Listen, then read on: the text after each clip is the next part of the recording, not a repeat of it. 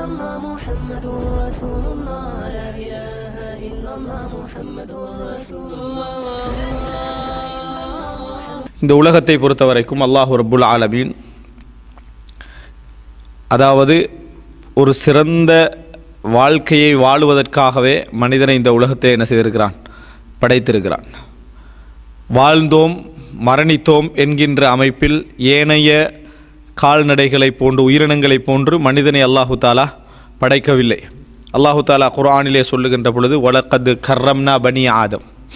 நாங்கள் ஆதமுடைய மக்களை கண்ணியப்படுத்தி இருக்கிறோம் அப்படின்னு சொல்லி காட்டுகிறான் அல்லாஹு ரபுல் ஆலமீன் படைத்த அந்த ஆரம்பத்திலேயே ஜின்களுக்கு முன்னால் அதாவது சைத்தான்களுக்கு முன்னால் மலக்குமார்களுக்கு முன்னால் இந்த மனித சமுதாயத்தை ஒரு கண்ணியமான ஒரு சமுதாயமாக அல்லாஹு தாலா ஆக்கியிருக்கிறான்.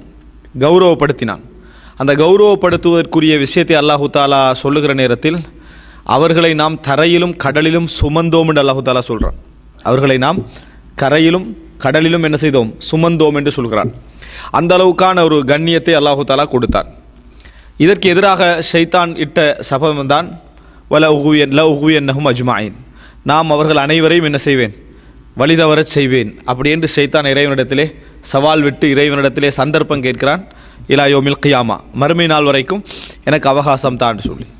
அவகாசம் கொடுத்துவிட்டு அல்லாஹு தாலா மனிதர்களை கண்ணியப்படுத்த வேண்டும் என்பதற்காக அடுத்ததாக அவன் சொன்ன விஷயம் என்னென்று சொன்னால் நான் நீ அவர்களை வழிதவரச் செய்வா என்று சொன்னால் அவர்களை அதாவது நரகின்பால் அழைப்பா என்றால் நான் அவர்களது பாவங்களை மன்னிப்பதற்கு தயாராக இருக்கிறேன். என்று அல்லாஹ் அடுத்து இது என்ன செஞ்சான்?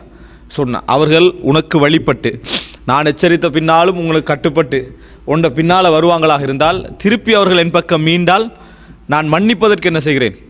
தயாராக இருக்கிறேன். அப்படி என்று சொல்லி அல்லாஹு தாலா மன்னிப்பிட வாசல் என்ன செய்கிறான் திறக்கின்றான்.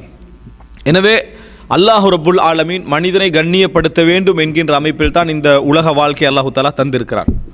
ஆனால் மனிதன் முதலாவதே செய்தது ஷைத்தானுக்கு ஆதரவான செயல்பாடு தான் இவ்வளோ அல்லாஹு தாலா கொடுத்த பின்னாலும் மனிதன் முதலாவது செய்தது சைத்தானுக்கு ஆதரவான அந்த செயல்பாடு. அல்லாஹு தாலா எப்படி சைத்தான் வாக்களித்தா இறைவனிடத்தில் சவால் விட்டானோ அதுபோல் மனித சமுதாயத்தை அந்த சொர்க்கத்திலிருந்து வெளியே எடுத்து கேவலப்படுத்தி இந்த உலகத்துக்கு இறக்கினான். அதுக்கு அடுத்ததாக அல்லாஹு தாலா கொடுத்த வாக்கு என்ன சைத்தான் இடத்துல நான் மன்னிப்பேன் என்று. அதே மாதிரி அல்லாஹ் என்ன செய்தான்?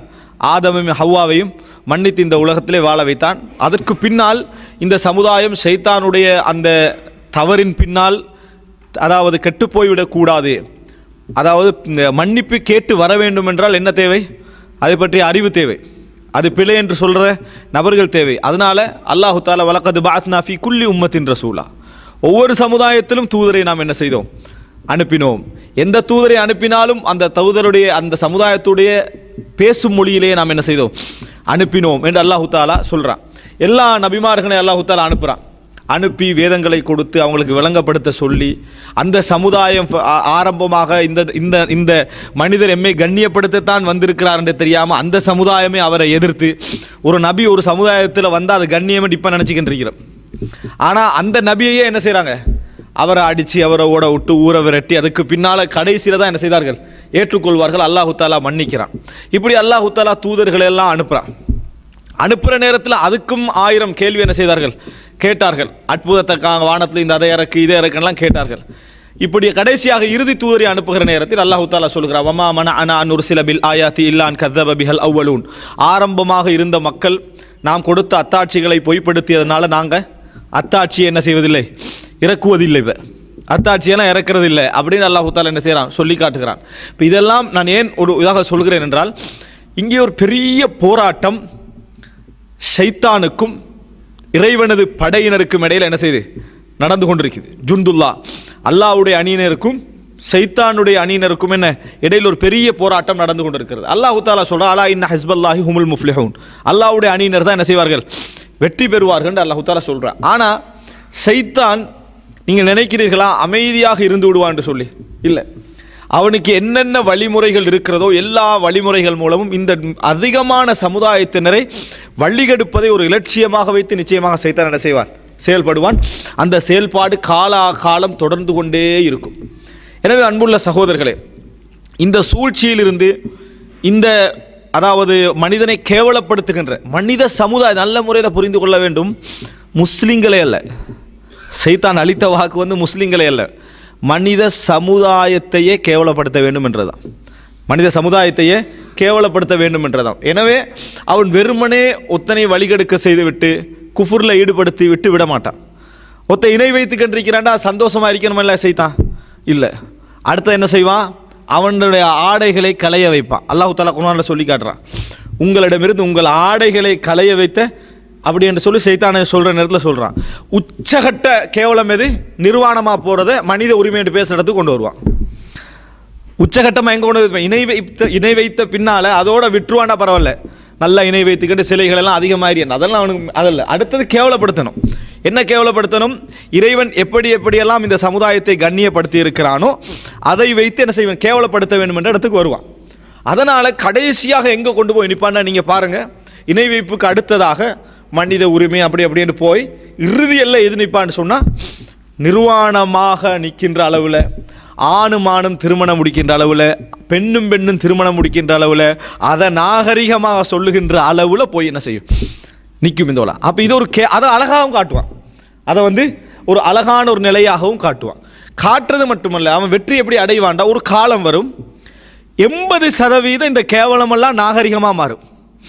அந்த நேரத்தில் நாகரிகமாக கொஞ்சம் பேர் இருப்பாங்களே அவங்கள பார்த்து எல்லாம் பிற்போக்கான மக்கள். என்ன? பின்தங்கிய மக்கள். ஒரு ஒரு ஒரு முற்போக்கு சிந்தனை இல்லாத மக்கள். அப்படி என்று சொல்கிற நேரத்தில் நியாயமான அறிவும் தடமாடக்கூடிய இடத்துக்கு நாங்கள் என்ன செய்வோம்? மாறுவோம். அன்புள்ள சகோதரர்களே எனவே ஒன்றை புரிந்து கொள்ளுங்கள். இப்போ அது ரசூலுல்லாஹி ஸல்லல்லாஹு அலைஹி வஸல்லம் அவர்கள் ஒரு தஜ்ஜாலுடைய ஃபித்னாவை பற்றி சொன்னார்கள். இந்த இடத்துல நான் சொல்வது அடிப்படைகள். தஜ்ஜாலுடைய ஒரு ஃபித்னாவை பற்றி சொன்னார்கள். ஒரு மனிதன் தஜ்ஜாலிடத்தில் போவான் நான் ஒரு நாள் இந்த தஜ்ஜாலால் என்ன செய்ய மாட்டேன்? வழித வர மாட்டேன் நம்பிக்கையில் தான் போவான். ஆனால் கடைசியில் குஃபர் செஞ்சுட்டு தான் என்ன செய்வான் வருவான்னு ரசூல் சல்லா அலிஸ்லாம் சொன்னார்கள். உங்களுக்கு எவர் எவருக்கெல்லாம் தஜ்ஜாலை அணுகாமல் இருக்க முடியுமோ தூரமாக இருங்க நாங்கள் சொல்லாங்க என்ன காரணம்?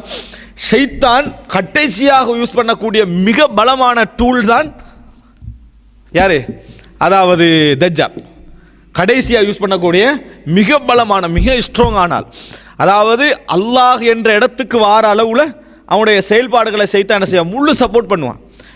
நல்ல முறையில் புரிந்து கொள்ளுங்கள். காஃபிராகி விட்டதனால சைத்தான் சப்போர்ட் பண்ணுவான்னு நினைக்கக்கூடாது அவன் பெருமை பிடித்தவன்.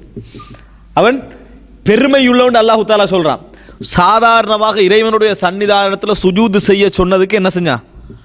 நான் எப்படி இந்த மண்ணால் படைத்தவனுக்கு நெருப்பால் படைக்கப்பட்ட நான் எப்படி சுஜூது செய்வேன்னு கேட்டவன். சேவை செய்வானா? சேவை செய்ய மாட்டான். லேசியில் அவன் வந்து என்ன செய்ய மாட்டான்? நெருங்கி வர மாட்டான். ஆகப்பெரிய கேவலத்தை அடைந்து அவன் கடைசி நேரத்தில் செய்கிற வேலை தான் தஜ்ஜால் என்ற ஒரு மனிதனுக்கு அவனது முழு பலத்தையும் சப்போர்ட் பண்ணக்கூடிய ஒரு இடத்துக்கு என்ன செய்வான்? வருவான்றதை பார்க்குறோம். எனவே இந்த உலகத்தில் நடந்து கொண்டிருக்கக்கூடிய போராட்டத்தை இப்படி பார்ப்பதற்கு ஈமான் வேணும். எப்படி பார்ப்பதற்கு?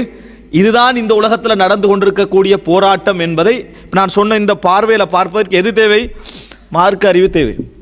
இல்லைன்னா இந்த பார்வையில் என்ன செய்ய முடியாது? பார்க்க முடியாது. இந்த உலகத்தில் நடந்து கொண்டிருப்பது சைத்தான் மனிதனை வழிகெடுத்து கேவலப்படுத்த வேண்டும் என்ற ஒரு சைத்தானிய லட்சிய போராட்டத்திற்கும் அவனது பாவங்களை மன்னித்து அவனை சொர்க்கத்திற்கு அனுப்ப வேண்டும் என்கின்ற இறை லட்சிய போராட்டத்துக்கும் இடையிலான ஒரு சோதனை. அல்லாஹ் ரப்புல் என்ன சொல்கிறான்னா இதில் எனது அதிகாரத்தை கொண்டு நான் என்ன செய்ய மாட்டேன்? தலையிட மாட்டேன். உங்களுக்குரிய சுதந்திர ஃபமன் ஷா ஃபல் யூமின் ஃபமன் ஷா ஃபல் யக்ஃபூர் விரும்பினவர் ஈமான் கொள்ளலாம் விரும்பினோர் நிராகரிக்கலாம். அதுக்காக வேண்டி நான் என்ன செய்திருக்கிறேன்? வேதத்தை இறக்கி எல்லாத்தையும் கொண்டு வந்து வச்சு வாழ்க்கை நடைமுறைப்படத்தை காட்டி ஒரு வழிகாட்டலை வைத்திருக்கிறான்.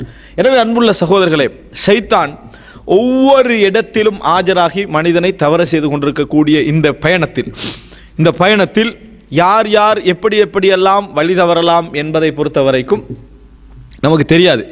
சைத்தான் அனுபவப்பட்ட ஒரு முறைமையை யூஸ் பண்ணுவான்னு அர்த்தம் இல்லை. புதிய ஒரு முறையை என்ன செய்வான்? ஒரு பெரும்பாலானவர்கள் அதை அடிபட்டு போகிறதுக்காக புதிய முறை என்ன செய்யும் அதாவது மனிதர்கள் சைத்தானுடைய சூழ்ச்சியை சரியாக அறியவில்லை என்பதற்கு ஒரு பெரிய ஒரு ஆதாரம் என்ன தெரியுமா? சிலர் என்ன கேட்குறாங்கன்னு சொன்னால் சைத்தானுக்கு பெரிய ஆற்றல் இருக்கிறது. ஒரு அதாவது வான வான எல்லைகளுக்கு போய் வருவதற்கான ஆற்றல் இருக்குது. ஒரு சேரை இப்படி கண் மூடி திறக்கிறதுக்கு முன்னால் கொண்டு போய் வைப்பதற்கு ஆற்றல் இருக்கின்றா நல்லவர்கள் எல்லாத்தையும் கொலை செஞ்சிட வேண்டியது தானே இவ்வளோ ஆற்றல் உள்ளவன் தானே செய்தான் அப்போ இப்போ உலகத்தில் மிகப்பெரிய மார்க் அறிஞர்களாய்க்கு எல்லாரையும் போட்டுட்டா முடிஞ்சுதானேன்றான் இதே விளங்குது சைத்தானை பற்றி அறிவு இன்னும் என்ன செய்யலை? மனிதர்களுக்கு குறைவு அவர்கள் இஸ்லாத்தை படிக்க படிக்கத்தான் அதிகமாகும் நினைக்கும் இவன் இவன் மா- இவனை மாதிரியே யோசிக்கிறது. ஷைத்தானை பொறுத்த வரைக்கும் உங்களை கொண்டுட்டா நீங்கள் ஷஹீதாகி சொர்க்கம் போயிடுவீங்க. விளங்கிட்டா? உங்களை எங்கேயாவது ஒரு இடத்துல வந்து கொண்டுட்டான்னு வைங்களேன். கொள்றதுக்கான உதவியை செஞ்சுட்டான்னு வைங்களேன். நீங்கள் அடுத்து என்ன? சொர்க்கம் போகிற அவனுக்கு நீங்கள் மவுத்தாகணும் சொர்க்கம் போன மட்டும்லாம் லட்சியம் இல்லை. நீங்கள் நரகம் போகணும்னு லட்சியம். அப்போ கொள்ளுவானா? அழிப்பானா? அழிக்க மாட்டான். இயன்ற அளவுக்கு உங்களை கால கையை உடைச்சி தாயத்து தட்டு கட்ட வைப்பான் அவ்வளோதான் இது வேணுமெண்டா செய்வானே தவிர எல்லாரையும் கொண்டு போட்டுட்டு அந்த அறிஞரை என்ன செய்வான்டா இயன்ற அளவுக்கு அவனை சாகடி அறிஞரை கெடுக்கல் மட்டும் பார்ப்பான். அவனை கெடுத்துட்டா பின்னால் உள்ள ஒரு பத்து லட்சம் பேர் காணாம போயிடுவான்லாம் இல்லையா? அதுக்கான முயற்சி எடுப்பானே தவிர அவரை கொண்டு அவரை ஷஹீதாக்கி சொர்க்கத்தில் உச்சகட்டத்தை கொண்டு வைப்பானா?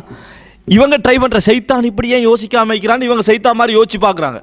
விளங்கிட்டா? வருது இல்லை சைத்தான் அப்படி யோசனையில் உள்ளவன் அல்ல. அப்படி என்றால் நபிமார்களை எல்லாம் என்ன செஞ்சிருப்பான்? அவனால் முடிஞ்ச அளவுக்கு ட்ரை பண்ணியிருப்பான். அந்த மாதிரி எதுவும் என்ன செய்யலை. வரல. வழி தவற செய்ய முடியுமா? அல்லாஹு தாலா நபிமார்களுக்கு ஒரு ப்ரொடெக்ஷன் கொடுத்ததாக சொல்கிறான் எது? நபிமார்கள்ட்ட இந்த ஷைத்தா என்ன எடுக்க பார்த்தான்னா அவங்களுக்கு இறங்குற வகை இருக்குது. அதில் நிறைய மறைவான விஷயம் இருக்கும். இதை ரசூல்லாங்க சொல்ல முந்தி கொஞ்சத்தை எடுத்து இவன் நேரத்தோட சொல்லலாமான்னு தான் ட்ரை பண்ணானே தவிர அதுக்காக வேண்டி மலக்குமார்கள் எல்லாம் என்ன செஞ்சான்? வைத்தான். ஏன்னா அவங்களோட மனசு மனித மனது தான் அதுக்குள்ளே போய் ஏதாவது குழப்பங்கள் விளைவிக்க கூட என்பதற்காக அல்லாஹு தாலா என்ன செய்தான்? பாதுகாப்பு செய்தான்றதை பார்க்குறோம். எனவே அன்புள்ள சகோதரர்களே ஷைத்தானிய மற்றும் மனிதனுக்கு எதிரான இந்த பலமான இந்த போராட்டத்தில் நாளை மறுமையில் ஷைத்தானுக்கு ஒரு தனி ஸ்பீச் வைக்கின்றான்லாம் சொல்கிறானா இல்லையா? நரகத்தில் எல்லாரும் போடுபட்டவரும் அவன் ஒரு ஸ்பீச் பண்ணுவான். அந்த ஒரு வார்த்தையை சொல்லுவான். அது பெரிய அல்லாஹ் குரானில் சொல்லி காட்டுறான் என்ன சொல்லுவான்னு என்ன செய்கிறான் உலகத்தில் எதிர்காலத்தில் இவன் இப்படி சொல்லுவான் என்ற ஒரு பட்டியலை அல்லாஹு தாலா சைத்தானுக்கு தவிர வேறு யாருக்கு என்ன செய்யலை? சொல்லி காட்டல. ஈசா அலி இஸ்லாத்தில் விசாரணையை சொல்லி காட்டுறான்.